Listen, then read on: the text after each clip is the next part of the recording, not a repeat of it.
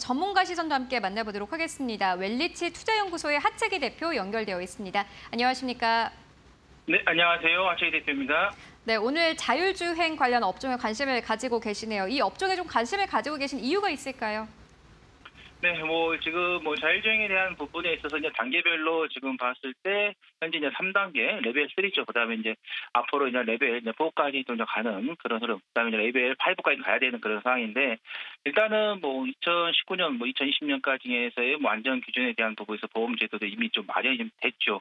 그러면서 앞으로의 우리가 자율주행의 시스템에 대한 특히 자동차에 대한 부분은 계속해서 선정할 수 있는 그 모멘텀이 아직까지는 남아있다 이렇게 보시면 될 것 같고 그다음에 이제 최근 이제 프랑스의 발레오사에서 지금 대구 국가산업단지에다가 자율주행 분야에 대한 대규모 직접 투자를 하겠다라는 또 이야기가 좀 나왔습니다.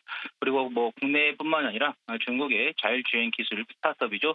포니 AI가 자율주행 레벨 4 이상의 로봇 트럭을 대량 생산할 계획이다라고 이야기 나오면서 뭐 중국 같은 경우도 지금 자율주행에 대한 부분에서 투자가 지금 계속해서 이루어지고 있는 그런 부분이고 미국 쪽에서도 뭐 GM 쪽에서도 지금 보시면 아시겠지만 자율주행에 대한 이 시스템에 대한 투자가 계속해서 이루어지는 관점에서 우리가 자율주행 관련해서 우리가 조금 관심을 좀 계속해서 가져보시는 게 좋을 것 같다라는 말씀을 드립니다.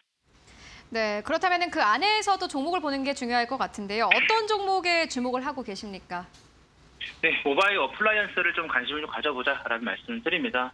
뭐 이 주가 같은 경우는 2020년도에 단기적으로 어, 중장기적으로 좀 올라갔다가 그 이후에 이제 계속해서 좀 조정이 나오고 있는 그런 부분이고 뭐 최근에 이제 시장이 좀 안 좋으면서 시장 영향이 좀 여파를 받으면서 좀 하락세가 좀 나왔습니다. 근데 예사 같은 경우는 이제 connected 및 뭐 자율주행 관련된 사업을 좀 하고 있고요. 어, 내비게이션이라든가 HUD죠, head-up display 그리고 안전 보조 장치 ADAS, 차량용 블랙박스 등을 좀 개발해서 좀 제조를 좀 하고 있고요. 그다음에 이 제품들을 현대모비스라든가 그다음에 BMW, 아우디, 벤츠 등 글로벌 기업에다가 좀 납품이 되고 있는 어, 부분도 있다. 그다음에 이제 유럽 쪽에서도 운전자에 대한 보조 시스템에 있어서 장착 의무화를 공식화한 그런 부분이기 때문에 그래서 앞으로는 이 자율주행에 대한 부분에 있어서 전 세계적으로 계속해서 좀 투자가 좀 이루어지는 그리고 어느 정도 이제 어, 규제도 이제 있던 것들을 좀 풀리는 그런 부분도 좀 진행이 되고 있다. 뭐 우리나라에서도 어, 규제를 좀 풀어가고 있는 그런 부분이고 또 내년에는 배달 쪽에서의 자율주행 로봇이 인도에 주행하는 것도 허용을 한다.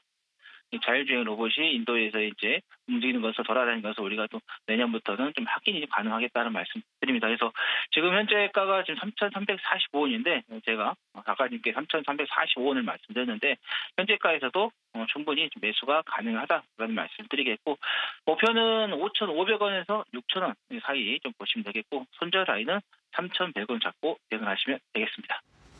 네, 알겠습니다. 지금까지 하채기 대표와 함께했습니다. 고맙습니다. 네, 감사합니다. 어, 최근 들어서 시장에서 뭐 자율주행 관련주는 살짝 관심에서 밀려나는데 그래도 꾸준히 관심을 가지면 좋겠다. 계속해서 성장하는 산업이다라는 이야기 듣고 왔고요. 모바일 어플라이언스에 대한 투자 의견 듣고 왔습니다. 현재가가 3,335원대에서 거래가 되고 있는데 목표가 5,500원대에서 6,000원대까지 보면 된다라고 말씀 남겨주셨습니다.